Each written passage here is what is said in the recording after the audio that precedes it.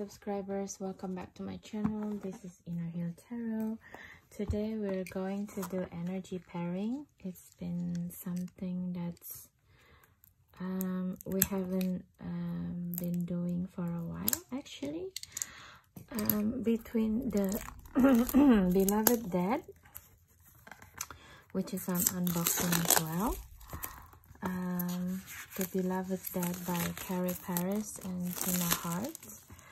Um, and the Memento Mori uh, Lenormand and Oracle deck by Claire Goodchild. And I know I'm probably quite late in the game on this one, on working with the uh, with the uh, the ancestors uh, month i think it's already came and went but i feel that it's actually uh, it's still resonating for me. Um, and i know that probably the thin not uh, the veil is not as thin as before um, when it's supposed to be which is the Samhain uh, period. But nevertheless here i am. Yeah i was really taken a, a bit of a apprehensive uh, situation with this. Um yeah it uh, it's just taking me a while to get into this point basically.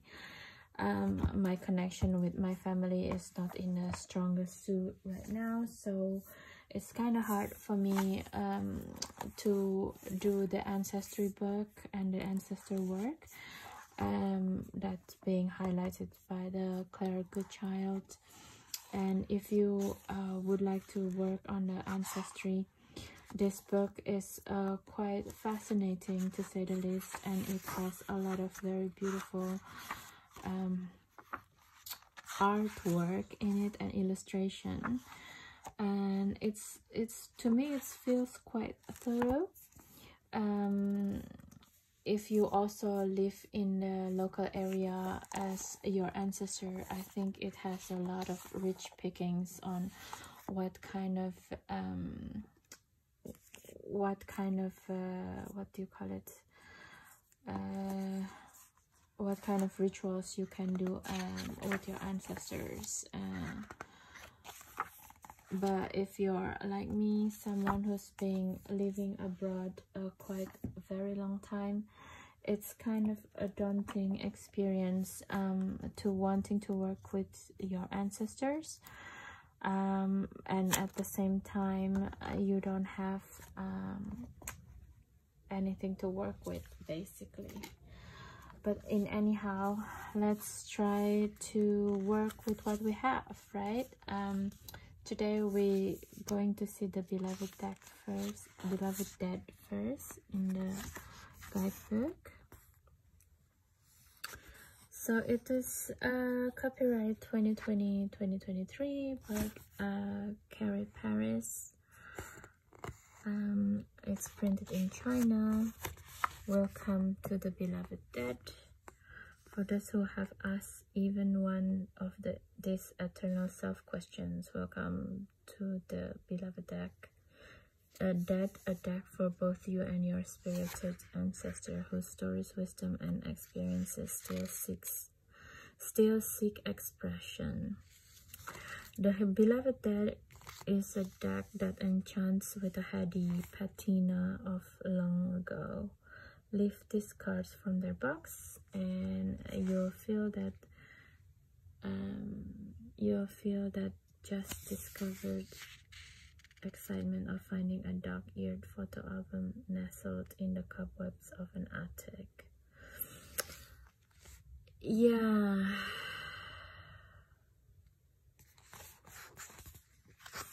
This is the thing with the um, uh, the photos that's um,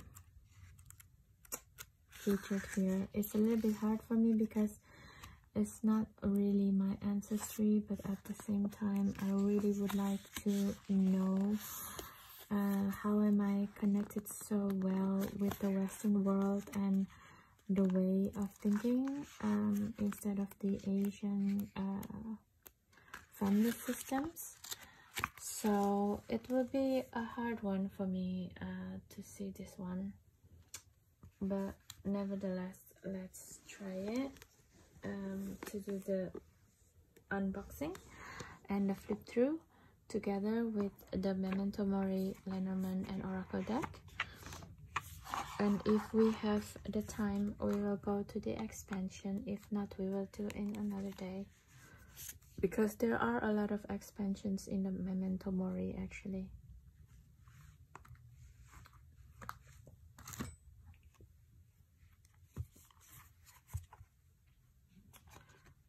So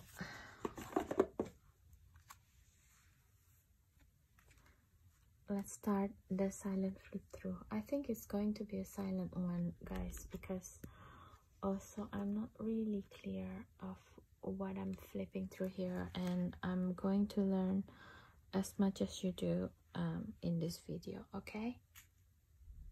Enjoy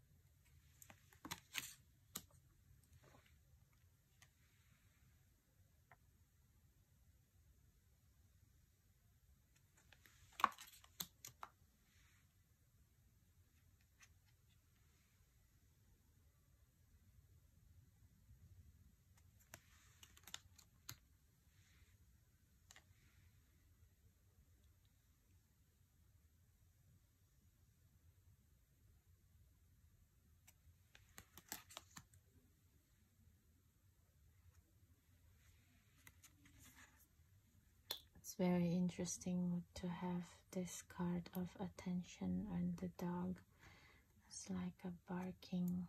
It's very like a judgment call as well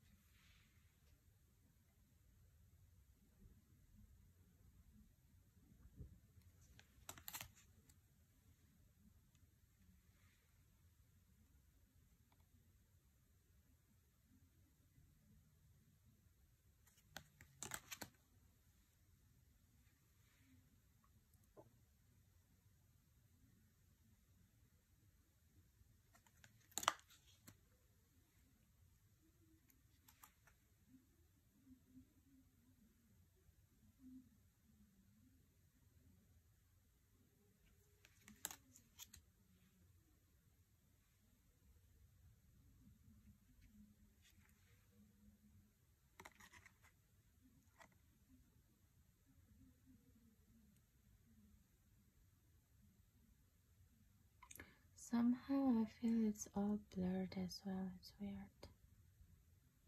Wow, look at this. These two threads that would could probably hold shame from our previous generation. Chicken and rats. It's very interesting.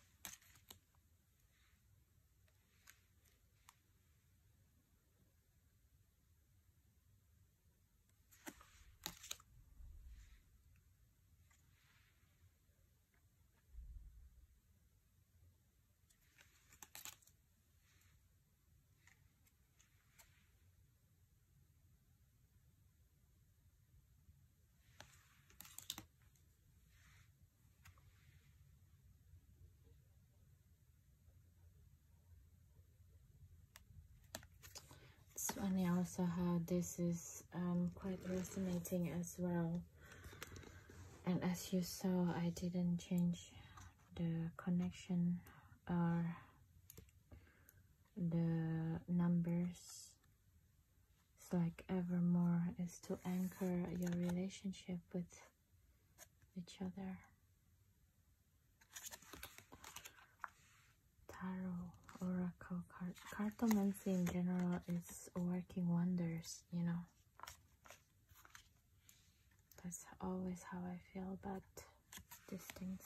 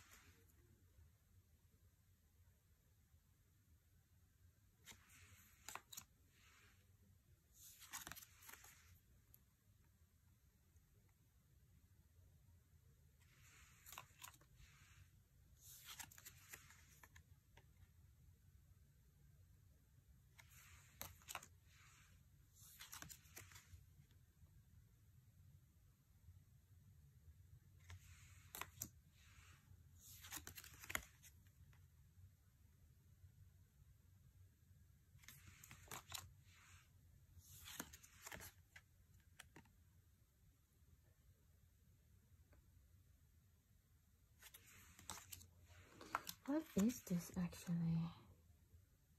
Oh my god, invisible. Did you see? This is like really, really scary looking figure actually. Oof.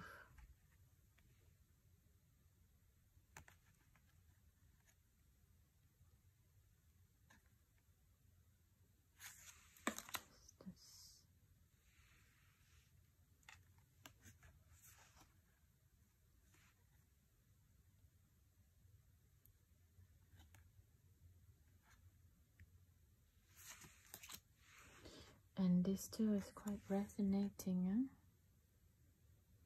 Tasseography. This um this tasseography is I think is reading the tea, the art of reading your tea leaves. To connect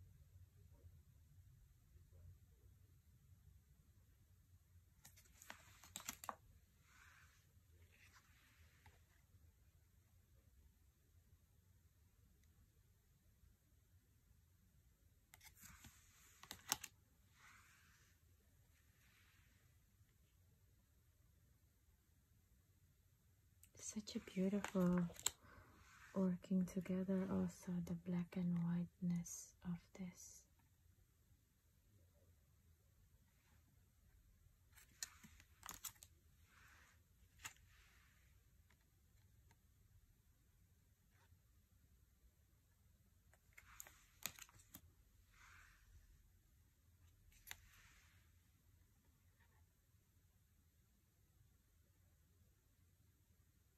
Perception.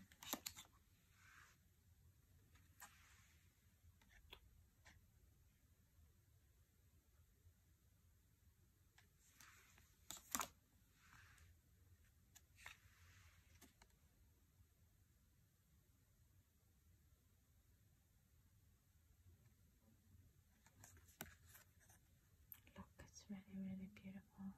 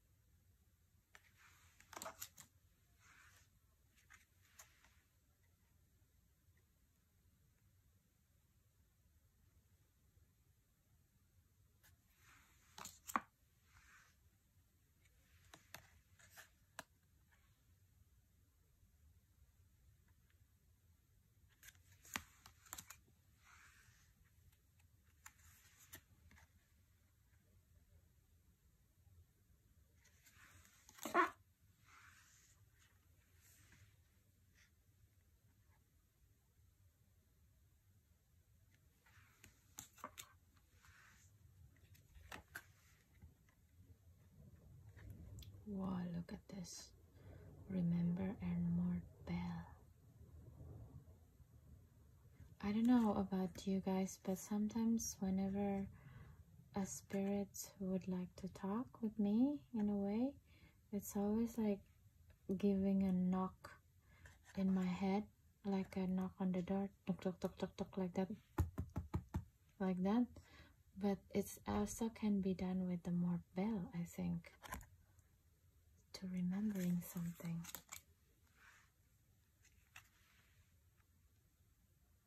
Oh, look at this shovel. Shoveling old belief and old feelings. Service. to help us to do this. such a resonating between these two decks. Look, charm and shine.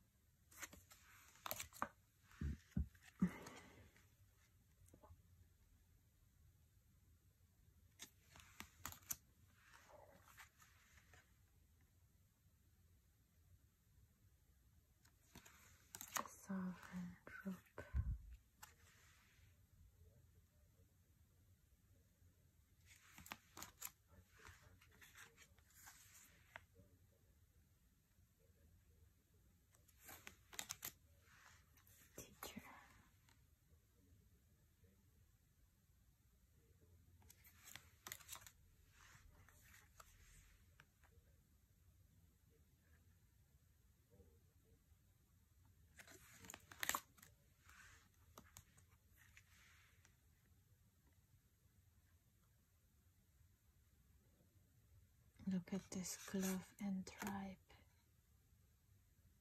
It's kind of like giving a meaning of certain social status, and that's the tribe of it. Certain skin.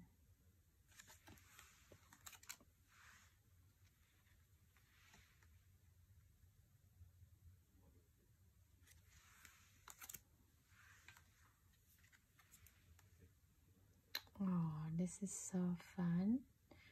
It's like you're she's giving you the harp this heavenly sound when she came by. What a nice um surprise from the beloved.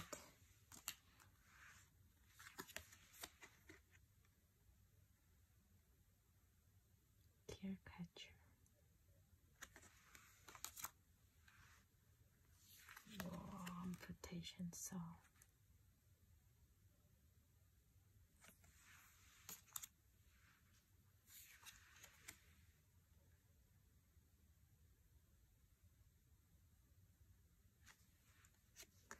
Look at the figure that's stuck in the door. It's quite macabre.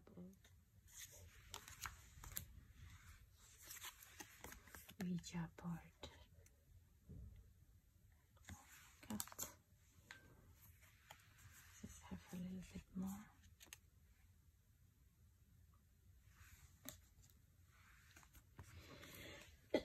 Sorry. Excuse me.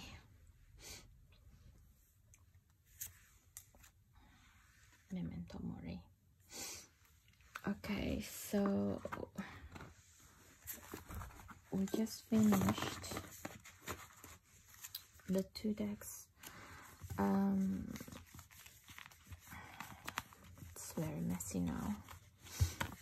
The two decks silent flip through, and it's quite haunting to me um, because of both decks. Um, quite connected even though that I never see them paired before so that's kind of interesting in itself and as you see the way they created this deck is not really with the cheapo the cheapest uh, cardstock. The only thing is like it's really glossy that it can be bothering for some people. And my first impression of this deck is quite haunting and um, there's a lot of meaningful gesture here. Um, uh, the only thing that bothers me is like everybody has wings and i don't know if it's really necessary to be like that. Um, this is really heartbreaking the absence of father figure and also the alcoholic you know? And sometimes i don't think we need or this one is not having any um, wings. So that's really nice to see um but yeah in general i feel um the gesture of what the chicken man is also very sad actually the cowardice uh, archetype it's also funny in a way, but I don't know. I don't feel very funny. I feel a bit sad. It's like what we hold on to from our ancestors are um, a lot of difficult emotions, you know, the way we communicate with our sisters or our um, the women in our family. Maybe it was conditioned to have it in a rivalry situation um, instead of in a loving one, you know so it can be very confusing uh, to receive certain um, emotion from people who reminds us of our own family and i think this deck can be good to explore that. Where is it come from? The possibilities. Um, and even though uh, i don't see that many colorful people in here but i think i don't know because uh, the term of um, incarnation is not just about the bodily function uh, from the physical but also in the soul level you could be um, an, a native american uh, one lifetime and next time you're a chinese or indian person for example and next time you're a white person and a black person. And it's kind of like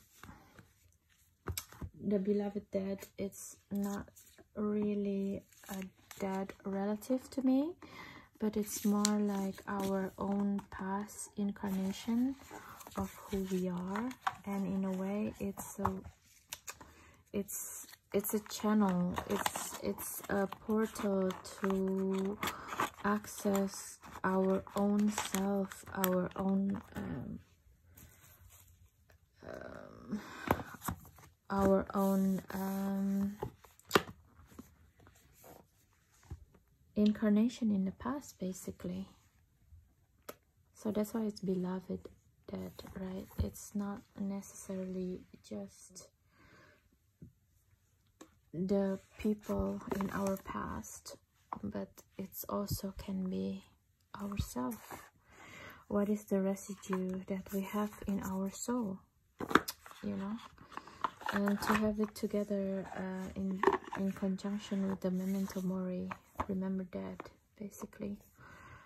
Um, there's a lot of dead going on in this video so i hope um, you're not really put off with this and i promise next time we probably will uh, bring this to the to the service. And it's also for me um, it's to remember what we um,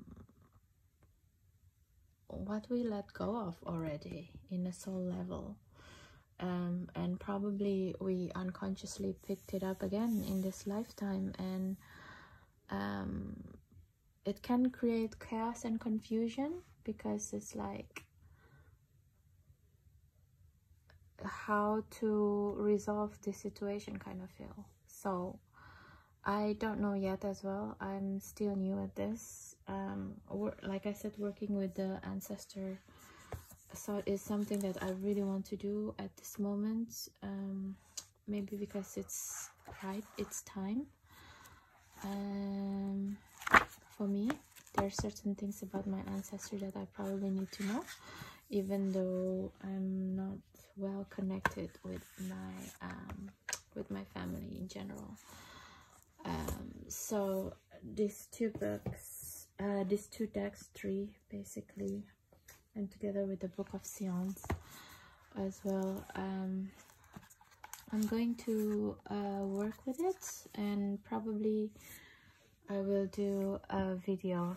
I think I haven't done a video of October and November uh, deck review but I'm planning on um, doing it very soon and uh, publish it before uh, December 15 for sure. Okay so um please do have a good day and night. If you like this video please don't forget to subscribe and share and comments what do you think. Do you work with your ancestors this uh, Samhain period and what did you find? I always love to read the um, the comments as well because I learned so much from the comments from you guys as well. So thank you so much for that and see you in the next video. Bye bye